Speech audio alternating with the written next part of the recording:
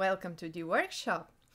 These days I was wondering how to improve my dandelion so it could be completely 3D printed. So I uh, make experiments with a lot of different shapes and things and at the end I realized that if I make my 3D printer stringing on purpose, this would be the best to have the dandelion seed. This is also very useful when you want to print things like grass or hair, fur and etc. Stay with this video to see how I'm doing this and just to show you what the end result is.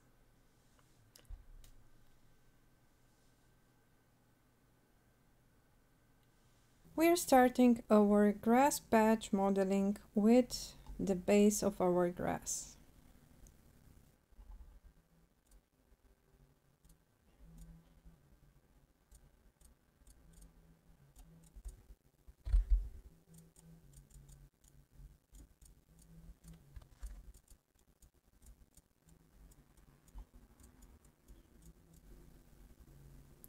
Extrude this on one millimeter. And then with the help of direct editing we copy the face. On the distance we want our length of the grass to be it should be a little bit more and I would recommend you to go in a little above 40 millimeters. Don't forget to mark copy so you have two. Then what we have to do next is to form our grass seed. It should be with with minimum line thickness of your printer in my case or a little bit more than that is 0.35 and the other side should be your layer thickness. I would recommend you to use 0.2 for a printer with 0.4 nozzle. Now we extrude this up to this surface.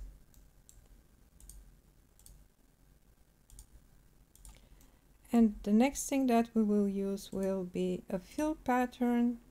This is our boundary. We would like to make it on 0.5 millimeter from the edges and 1.5 millimeter one from each other. And now we choose our seed. Now this is not very dense. If you want to be den more dense you have to choose one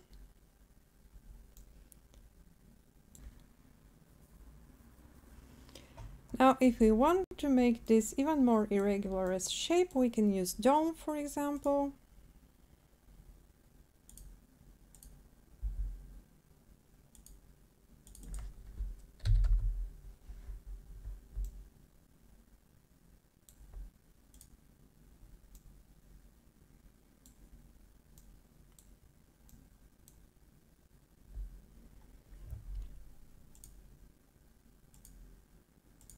And I will add one more thing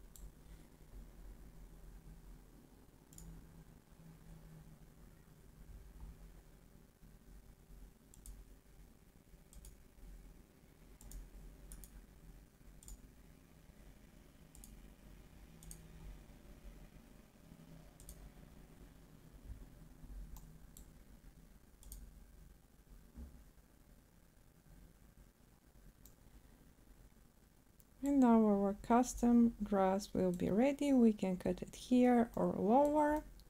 And we can save this as STL now.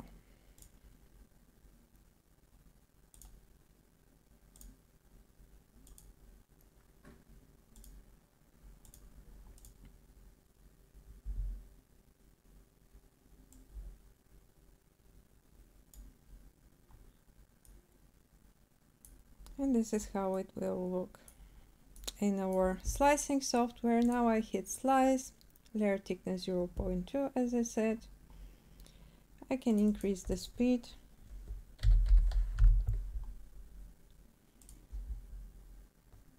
And as you can see, this small patch of grass will print for 40 minutes. So that was from today's video. Don't forget to like it, ask your questions in the comment section below the video and subscribe for the channel if you want to see more videos like this. See you next time. Bye.